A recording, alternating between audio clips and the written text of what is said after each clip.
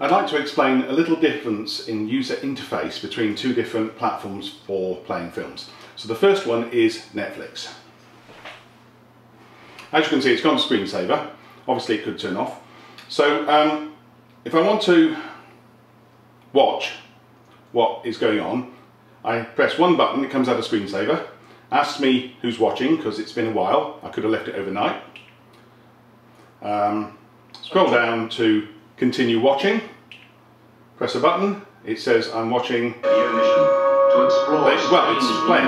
I can press the button to get rid of the menu. But basically, new life and new sorry, noisy. To boldly go and Basically, two clicks and I'm watching what I was watching before. Let's compare that with Apple.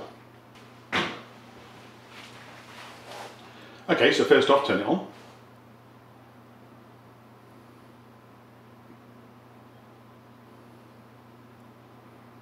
That was interesting. Um, not where I left off. TV shows, which is a good start. It was a TV show, so let's select that. Uh, not top TV program, it was purchased. Takes a while.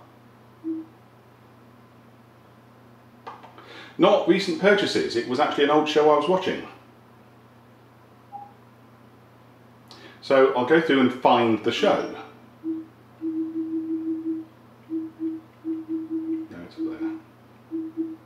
Okay, Stargate Atlantis. Resume episode 11. Yes, I really want to resume. I did press the button for that. for a weak signal. Look, if any part of that ship is in Finally, watching. So, huge difference in user interface. Netflix will typically be one click, but if you've left it overnight, it's like two clicks. I have to confirm I'm Adrian and say continue watching.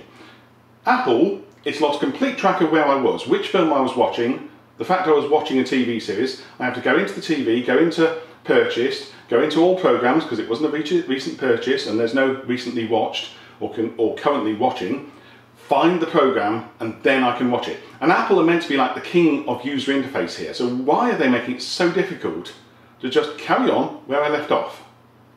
Why? Why Apple?